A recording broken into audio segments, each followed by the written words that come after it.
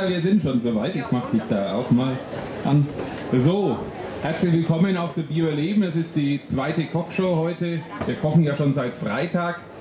Der, Sam der Sonntag ist erst das zweite Mal bei Bio Erleben mit dabei und das ist auch der Grund und die Motivation war auch die Kirche mit einzubeziehen, weil das, was Bio Erleben bedeutet, sind ja Dinge, mit, die mit Werten zu tun haben und deswegen ist der Sonntag eben auch das, wo wir versuchen, auch diese Kochshow ein bisschen in diesem Bereich mit Kirche zu verbinden. Wir sind wahnsinnig stolz darauf und freuen uns darauf, dass die Regina Werner von der Maria Ward Schule hier bei uns ist, die nämlich da ja, die Küchenchefin Ja, genau. ist und die normalerweise für wie viele Kinder kocht? 120. Für 120. Also, Sie können davon ausgehen, dass äh, Regina sehr gut kochen kann, dass sie sich mit Lebensmitteln beschäftigt, auch im, ja, wirklich auch im Bereich der Werte, auch im Bereich mit Verantwortung, was die Tiere angeht. Wir haben gerade darüber diskutiert, äh, weil wir eine Flexitarierin hier hatten. Kennst du Flexitarier? Nee, kenne ich noch nicht. Was ist das? Flexitarier nennt man die Menschen, die, wenn sie nicht wissen, wo das Fleisch herkommt, lieber vegetarisch bleiben, kein Fleisch essen. Aber wenn, wie die Erika gerade gesagt hat, wenn ich weiß, dass es ein Biorind ist und dass du das gekauft hast und gemanagt hast und das alles passt, dass man dann auch ein Stück Rindfleisch gerne isst.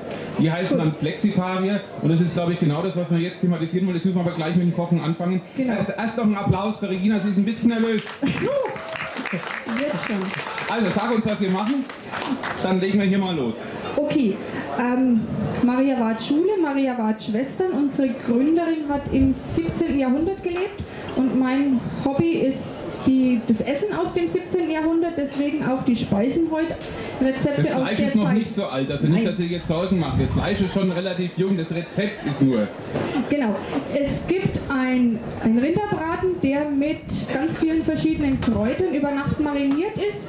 Thymian, Majoran, Petersilie, Schnittlauch, aber auch was so für uns Also ungewohnt Sie ist. sehen es hier. Genau.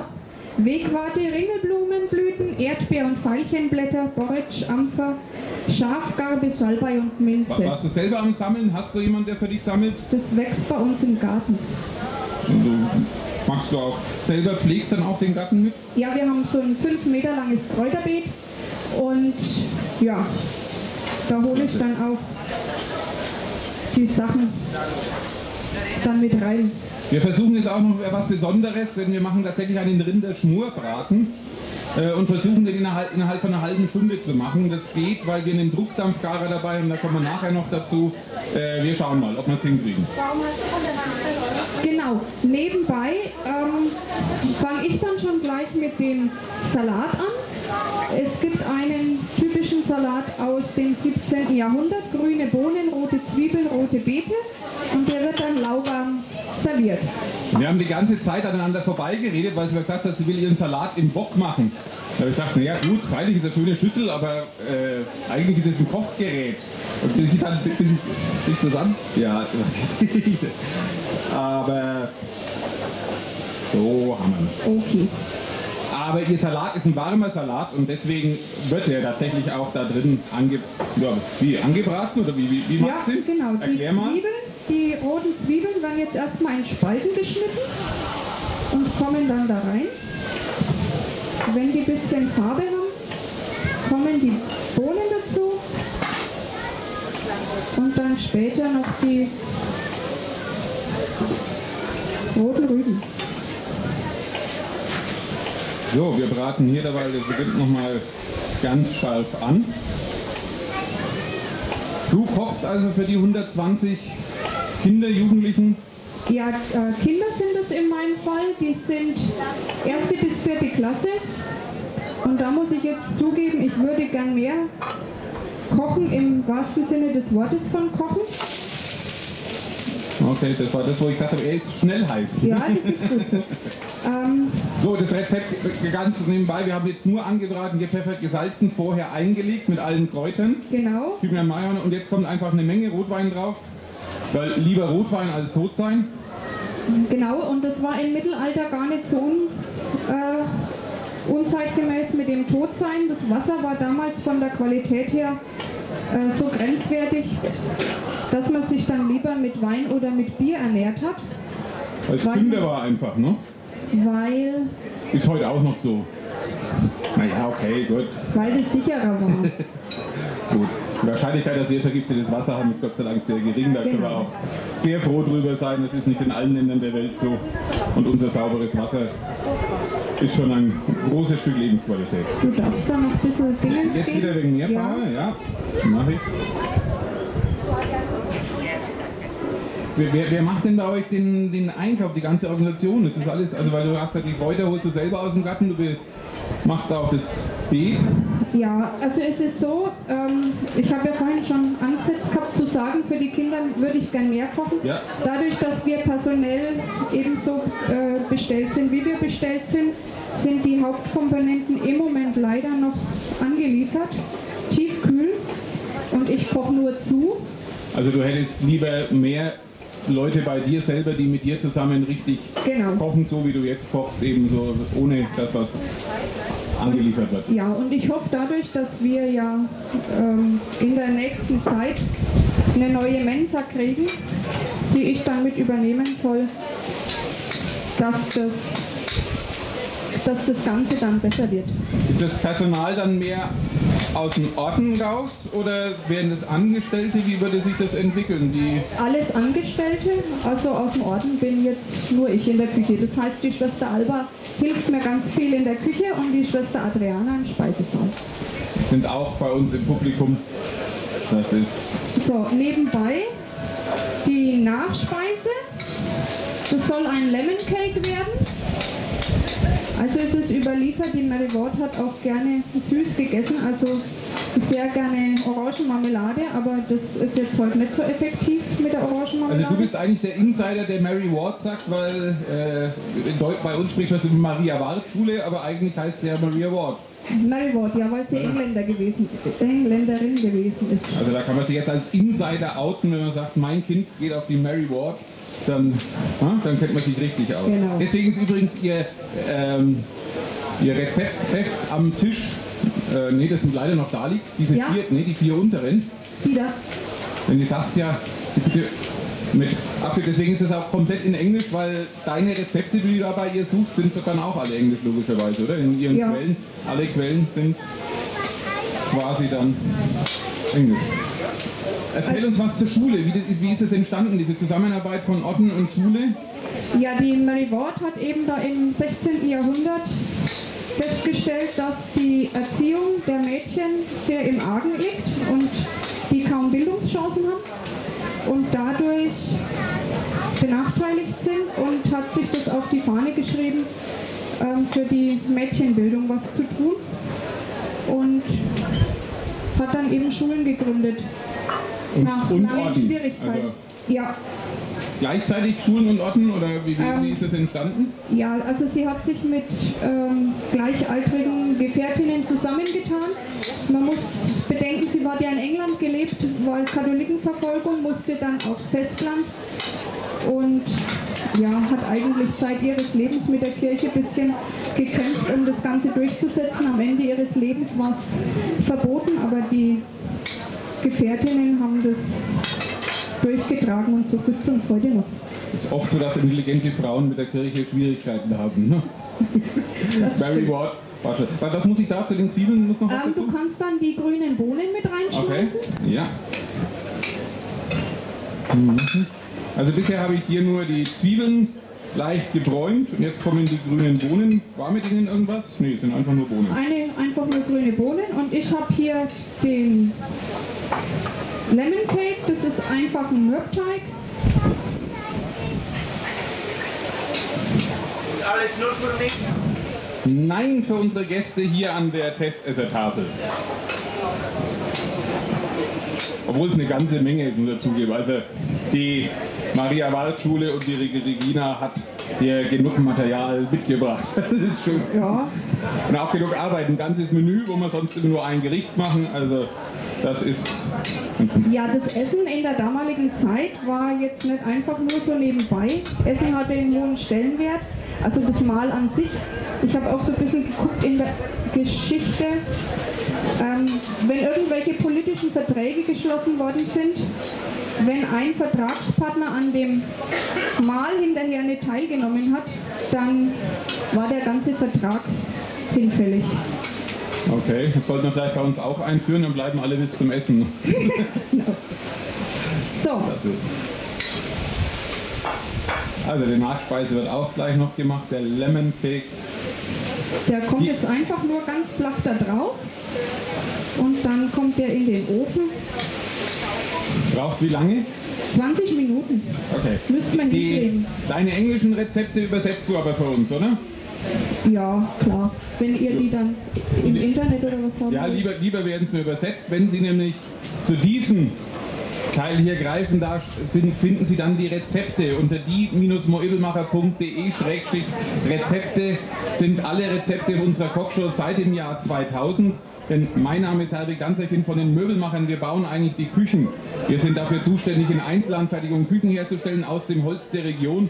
Und wir wollen aber zeigen, dass die eben tatsächlich Werkzeuge zum Kochen sind. Und so hat sich im Jahr 2000 ergeben, dass wir mit Spitzenköchen gemeinsam Kochshows machen, um eben das zu demonstrieren. Hier ist der Kirschbaum aus Lilling und Lilling, wer weiß, wo Lilling ist? Ich weiß das. Ah, ja. Kirschbaum, Kirschbaumgebiet und da haben wir viel, viel von unserem Kirschbaum her. Genau, von einer Mitschwester. Die Schwester ist dort verheiratet. Darum kenne ich das so gut. In Lilling. Die, die Schwester ist verheiratet, jetzt Die Schwester von der Schwester. Die Schwester von der Schwester ist verheiratet. Okay, jetzt, jetzt äh, ihr habt schon das auch, wo ihr keine äh, Ehe Genau, habt. genau. Wie heißt es bei Frauen, bei Männern Zölibat? Wie heißt es bei... Ja, Ehelosigkeitsgelübde ist das. Das ist, ja, das ist ein Name, den man wenigstens versteht. Genau. genau. Wie, viel, wie viele Schwestern hast du? Also jetzt richtige äh, Ordensschwestern? Also wir am, danke, super, am Kesslerplatz sind zwei Kommunitäten. Das eine ist, Ah, jetzt geht es aber doch mit den Trender dann weiter. ja, also zwei Gemeinschaften. Okay. Das eine ist die sogenannte ja,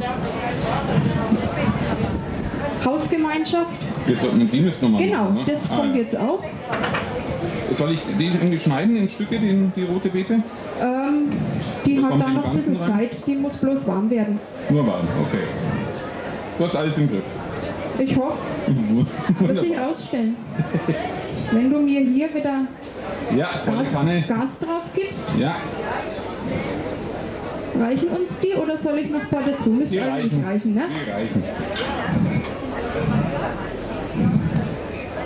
Okay, dann mache ich hier schon mal meinen Krempel ein bisschen auf die Seite.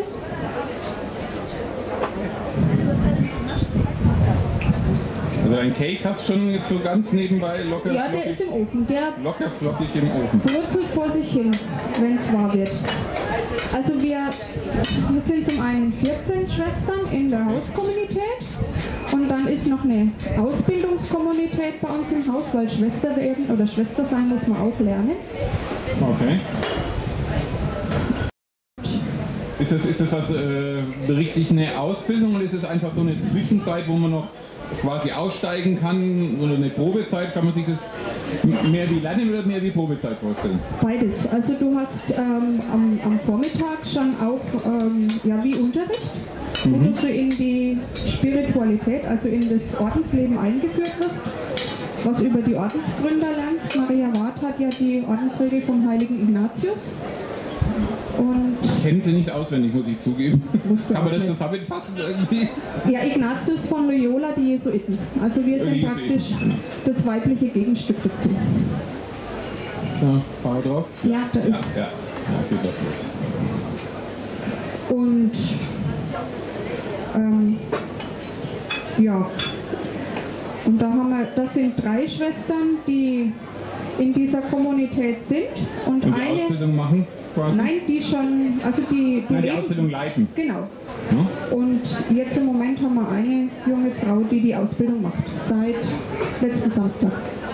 Okay. Wir, man hört ja immer wieder, dass die Orden Schwierigkeiten haben mit dem Nachwuchs, denn es ist so wichtig, reizvoll das Thema zu formulieren.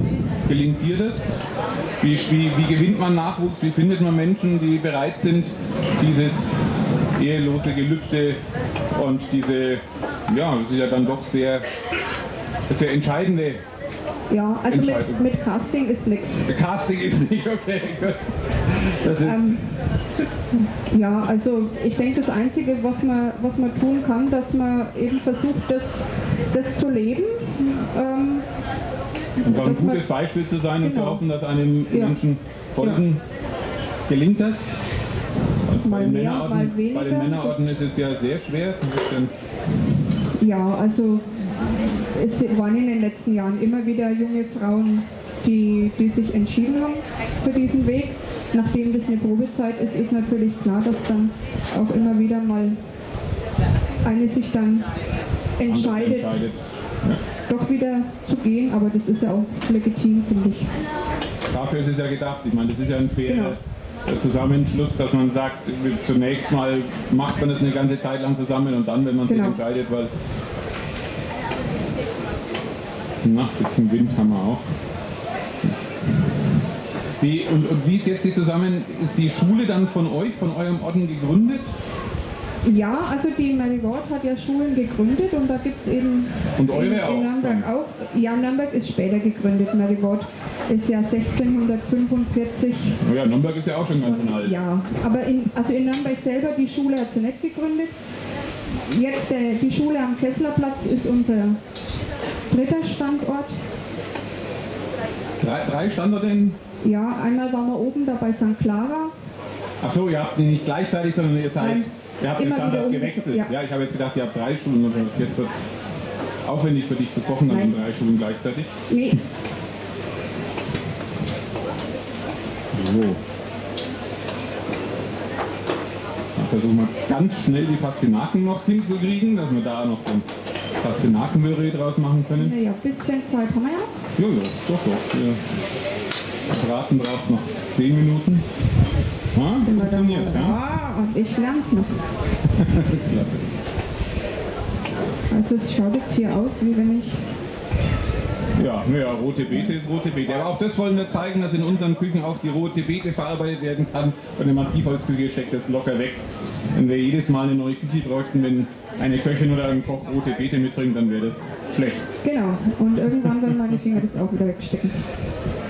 Wie sind die Kinder drauf? Was essen die? Wir hatten am Freitag eine Kochshow mit äh, einer Köchin, die eben auch für Kindergärten und Schulen kocht und war etwas frustriert, weil immer dann, wenn sie glaubt, jetzt was besonders Tolles für die Kinder gemacht zu haben, dann wollen sie es nicht, sondern es, es hat, hat alle Klischees erfüllt, dass sie, sobald es halt Pommes und Schnitzel gibt, essen die Kinder wahnsinnig viel und wenn es was Ja. halbwegs Gesundes gibt, ist es bei euch besser? Ist es Nee, das ist bei uns genauso und du merkst genau, in welcher Familie zu Hause gesund gegessen wird oder wo es Gemüse gibt und wo es das nicht gibt, weil was man zu Hause nicht isst, isst man in der Schule erst recht nicht. Da sind wir auch drauf gekommen. Das heißt, den Kindern kann man eigentlich keinen Vorwurf machen. Oder? Nee, das kann man auf Kindern kann man ja fast nie einen Vorwurf machen, aber auch in diesem Fall ist die Ernährung natürlich das, was zu Hause vorgelegt wird. Ja, das stimmt.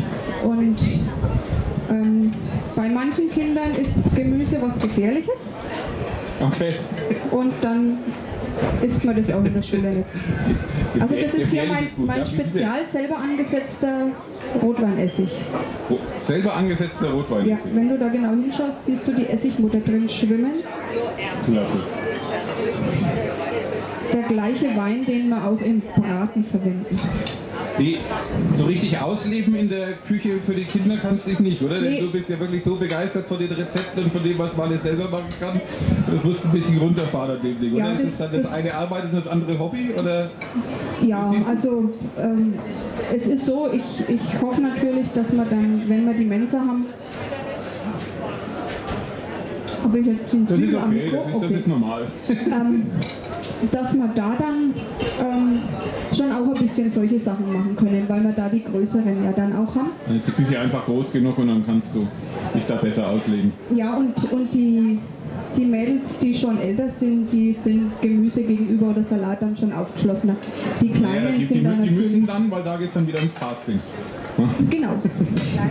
Aber so bei den Kleinen, da geht natürlich dann Chicken Ja. Nuggets, Pommes Genau, ja, oder Fleischbällchen in Tomatensauce, gebackener Fisch. Wiederholst du noch mal bitte, was im Salat drin ist? Denn manche sind später gekommen und jetzt hast du gerade auch noch den Honig rein, dass wir nicht den Überblick wir also- haben angefangen mit den Zwiebeln. Rote Zwiebeln in Olivenöl angedünstet, In die grünen Bohnen, die gekochten roten Rüben, dann Salz, Pfeffer, Rotweinessig und ein bisschen Honig. Und es ist ein Rezept, das du bei der Mary Ward irgendwo oder zumindest in ihrer Zeit Also das, es gibt ja im Internet gibt's ja da ganz viel und ich meine Jetzt Mittelalter hätte ich ja gedacht, du warst in den Klöstern und bist in die, in die Bibliotheken Ja, also in und hast du die Bücher so abgestaucht oder jetzt hast du es auch im Internet. Oh, Also in, in unseren Archiven gibt es natürlich auch einiges. Wir haben in, schon, ne? in England eine, eine Mitschwester, die da viel forscht und die zum Beispiel auch herausgefunden hat, dass die Mary Ward gerne Orangenmarmelade gegessen hat.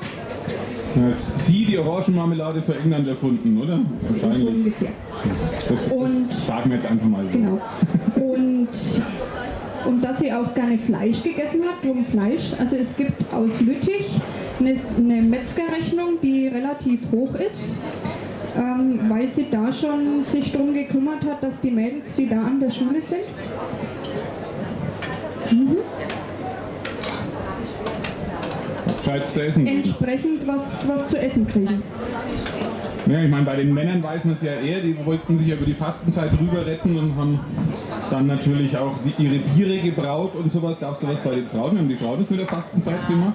Ja, da war es ganz genauso. Also es gibt äh, im Archiv dann, also, also ein- eine Mitschwester in England hat da auch so ein schönes Geheft rausgegeben, was damals gegessen worden ist oder was für die Kranken bestimmt war.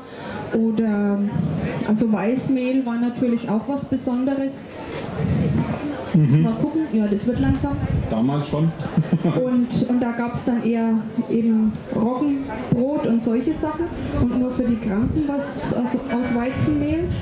Und ja, also von daher, ähm, und dadurch, dass Mary Ward mit der Kirche ja ein bisschen Schwierigkeiten hatte und nicht als Orden anerkannt, darf ich dir mal dein. Dingens klauen? Ähm, haben die auch ziemlich Geldschwierigkeiten. Das wollte ich gerade ansprechen. Ich meine, die Fleischrechnung hat sicher auch was mit Geld zu tun. Und Genau. wenn sie mit der Kirche eher im Topf lag, dann war das gar nicht, gar nicht so einfach, das zu finanzieren dann wahrscheinlich. Ja? Wie, und- wie immer im Leben. Und von daher war das halt dann äh, schwierig. Also es gab dann auch Zeiten, wo die Mary Ward mit ihren Schwestern sicher viel gehungert hat. Ja, das, ist dann, das war das dann- ist dann nicht Fasten, das ist dann einfach Hunger. Ne? Genau, das ist, war äh, dann weniger lustig. So, ich denke, die Pastinaken könnten soweit sein. Dann quetschen wir die mal da durch.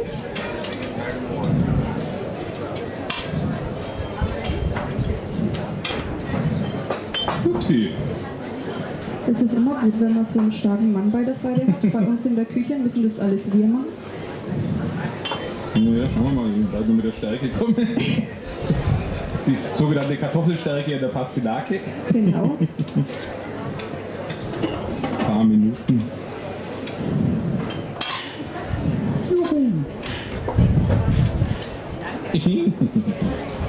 Das macht nichts, ich habe noch zwei hinten hinten.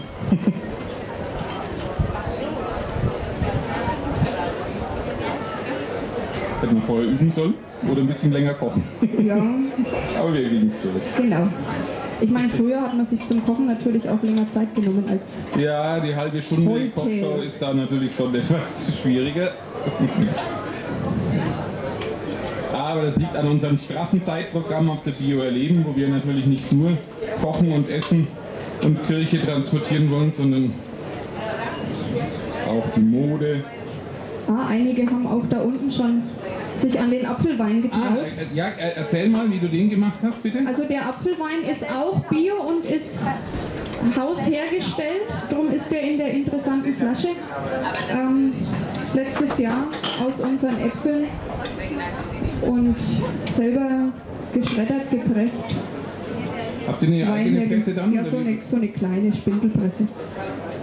Okay, nur ja, da ist ja da oben, oben mit der Spindel. Uiuiui.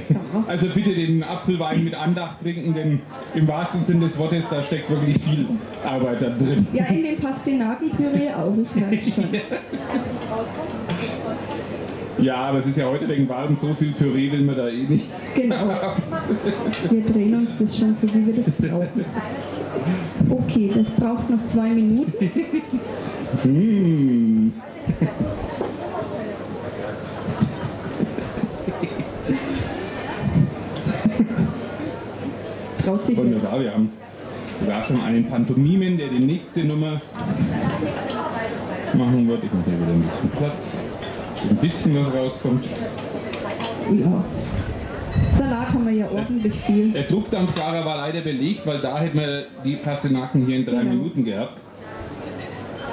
Aber man kann nicht alles haben. Genau. So. Aber damit kommt es zurecht, oder? Jetzt. Damit komme ich zurecht. Dann machen wir das mal so. Weil unser Fleisch ist auch in einer Minute soweit. Sollen wir dann die schon mal zum Anrichten vorbereiten? Ja, das wäre nicht schon? schlecht. Dann kommt da auch bloß Salz und Pfeffer.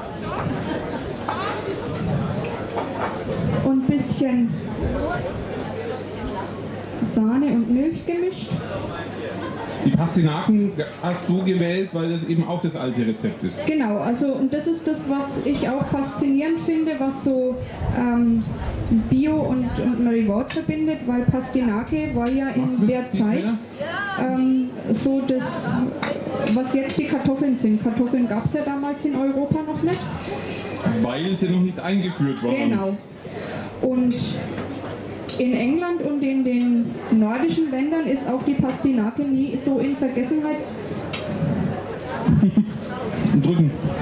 Ja, Bist du zufrieden mit dem Salat? Du hast gerade genascht. wunderbar, ja. Also in den Ländern ist die Pastinake auch nie so in Vergessenheit geraten wie bei uns. Und durch, durch Bio oder durch die Bio-Bewegung ist die ja wieder so ins Bewusstsein gekommen. Hat man erst wieder gemerkt, was das eigentlich für ein gutes Gemüse ist. Also ich finde auch die Mischung klasse, ne? So ein Püree aus Kartoffelpastinaken finde ich auch Ja, immer. Ja. und wir haben an der Schule ja auch einen Freundeskreis, einen Förderverein. Förderverein Maria Waldschule. Die- Muss man immer haben, immer aus steuerlichen Gründen, weil anders gehen ja die Sachen immer nicht. Und Ja, und also die machen auch ganz, ganz viel für die Schule, unterstützen die Schülerinnen auch immer wieder, wenn Fahrten sind oder so. Und ähm, die haben einmal im Monat ein Treffen. Und da bin ich dann auch immer angesagt, einmal im Jahr auch was zu kochen. Okay. Also das ist dann, kann ich davon schon kannst du schon anrichten. einen Löffel drauf? Wo, Genau. wo du denn gern? Nicht, nicht, dass ich deinen Teller entwurf. Naja, wir haben ja drei verschiedene Sachen, einfach irgendwie da ein Eck, da ein Eck, da ein Eck. Okay. Ähm, und da habe ich vor ein paar Jahren auch so ein, aha, der Bratenstreit, Machst du? Kannst du? so ein, so so einen Abend gemacht, alte Gemüsesorten neu entdeckt. Und so, jetzt müssen wir mal hier unser kreatives So, Chaos. jetzt haben wir also in 20 Minuten hier den Schmorbraten geschmort, dank dem Miele Druckdampfgarer. Schauen wir mal. So, dann kannst du das da mal mit irgendwie dazu tun. Ja, Und ich schau mal, dass ich hier unser schneiden wir Also gleich auf. Du kannst auch von dem dann noch. Ja, schau bloß. Ja, perfekt.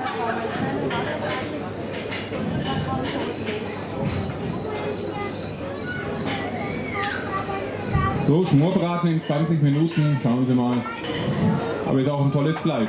Ne? Ja. Wo ist das Fleisch her? Wo, wo, wo hast du es her? Ähm, also ich habe ähm, jetzt keinen speziellen aber die besorgen mir das auch immer Sollen wir wieder. das schneiden jetzt dann? Ja, genau.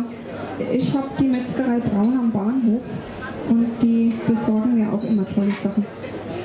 Und auch in, in Bio-Qualität, wenn ich das haben möchte. Okay, also gibt eine wunderbare Scheibe. So. Neue, du? neue Küchen sind immer was du? irgendwas, wo ich das Löffel, da, ja.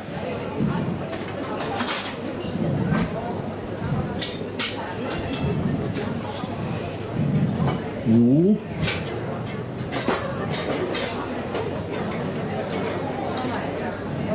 Dann tun wir eine Scheibe dazu jeweils.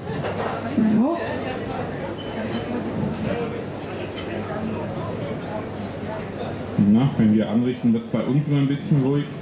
Na, volle Konzentration. Ja. Also wenn Sie was dann am Tisch haben, wird es bei Ihnen wieder ruhiger. Das ist die Reihenfolge.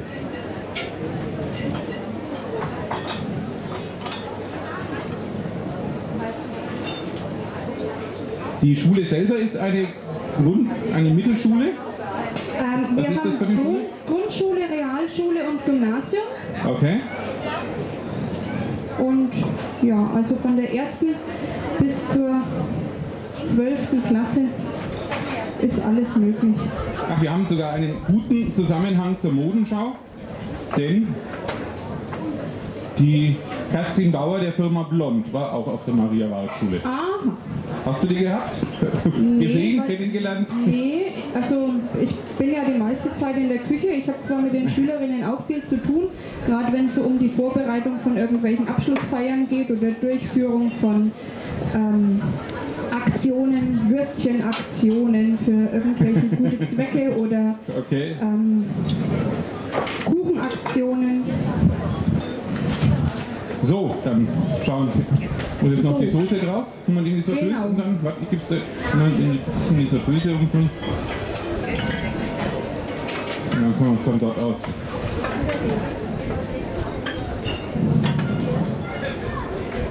Wunderbar.